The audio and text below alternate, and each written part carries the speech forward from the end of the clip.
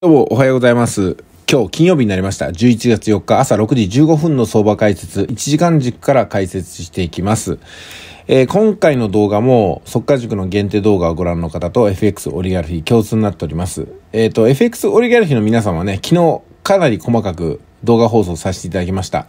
まあ、その内容がね、えーかっこいいものだったらあれですけども、個人的にはかなり損したというね、そんな報告になってしまいました。まあですんで、これを教訓にして、あのーやっぱね、負けることを受け入れていくっていうことと、負けるからこそ、どこに原因があったのかっていう風な振り返りをやっていくこと、特にアウトプットすることによって、その自分の経験がね、実際の記憶に刷り込まれますんで、どんどん上達していきます。だからね、アウトプットをね、私はね、強くお勧めしますよ。アウトプットをしないインプットは単なる無駄時間と思ってもいいぐらいやってもしょうもないことです。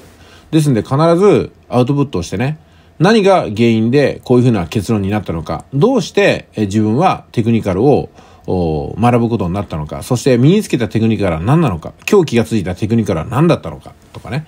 あとはあれですよね。自己解説って言って、今チャートが出来上がってるでしょ。その出来上がったチャートに対して、いろんな理屈をつけていくことができると、未来予測もできるようになってきますよってことですよね。はい。それではね、まず1点目からお話していきます。えっ、と、まずは、ここにレンジを昨日作ったと思うんですよ。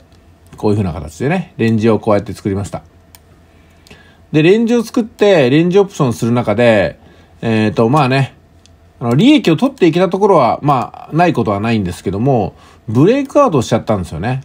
ブレイクアウトをしたんだけども、そのままほっといてどんどん伸びるかなと思ったら、今度逆の方向にね、進んでしまってロスカットを受けるってことがありますので、ゼロライン設定をすることを、昨日はね、昨日というか前回の動画でお話しました。ブレイクアウトにはね、ゼロライン設定のが必須です。そう言ってもいいぐらいです。えそして、レンジ内オプションの場合は、ゼロライン設定がすごくできませんので、だから細かく理解していくこと。目安としては、エントリーして半分ぐらいまでいったらもう一旦利確ですよ。そして、ここまでのロットの半分を持ってですね、1ロットでエントリーしたんだったら、ここで0.5で追撃をかけるってことをすると、えーロスカットをね、した後でも、半分は利益が残るでしょ？こうやって自分の、おーなんですかね、証拠金維持率をずっと上げていくってことになるんですよ。だから30万で開始した人もこのコツコツコツコツコツコツやっていくと40万なり50万なりって言って増えていくでしょ？あとは勝てるようになってきたら一定の確率で勝てるようになってきたらロットを増やすだけなんですよ。で、この作業ですよ。本当にね、あの、トレードの回数を増やして勝ちをいっぱい積み重ねていくんじゃなくて、トレードの回数をなるべく減らしていってロットを上げるんですよ。この考えをね、絶対持っといてくださいね。さあ、それで、えー、今どうなってるかっていうと、レンジオプションは一旦やめて方針転換をしましたってことを前回のオリガルフの動画では申し上げました。それは、高値切り上げ、安値切り上げのフェーズを見た方がいいよってことなんですよ。えそしてこれからは、ここを超えて、ここを超えて、いよいよ149円とかになっていくんではなかろうかってことですよね。これが1時間で私のさせていただいた解説と、それから今後の展望です。では、1日足から見ていきますね。改めて1日足から見るときに、こうして見ると、下髭が長く出ている陰線。ね、こことここ。陰線で下髭出てるでしょ？上髭が出てないでしょ？で、陽線に変わった時も、今形成中なんで何とも言えませんけども、これがね、下に向かう陽線だとはなかなか思えないわけですよ。すでに下に向かう圧力っていうのが前回の2つの陰線によって否定されてますからね。ですんで、ここから上昇を始めていくんではなかろうかというふうに、冷やしの方は見ることができます。よろしいですか ?4 時間です。次は4時間見ていきますよ。4時間見ていくと、これだけ見るとね、あのー右肩上がりっていうふうには見えません。しかしですよ、重要なポイントとして、髭を見ていきましょう、また。長い下髭が結構目立ちますよね。こういうふうにね。まあ、ここもそうかもしれませんけども、こういうところも。まあ、主には、1、2、3、4つの長い下髭が見えます。それに比べて、上髭ありますまあ、ここがあるといえばある。このぐらいじゃないですか。これが何を意味するかっていうと、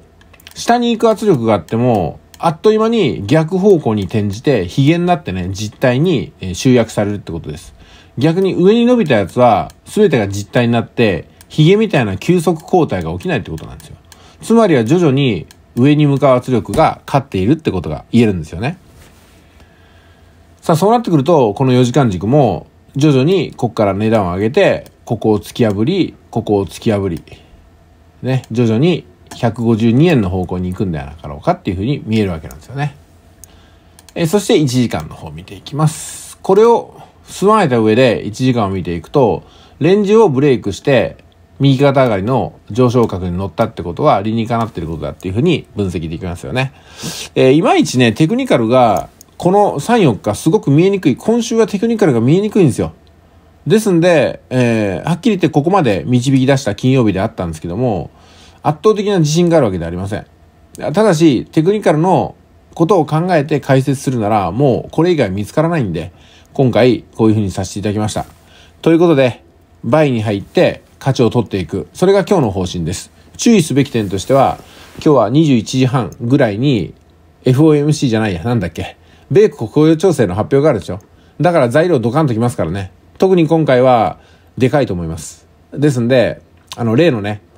トリガーみたいなスケボーゴールを起こさずに、今日は早く寝ましょう。そして明日また相場が落ち着いた時に、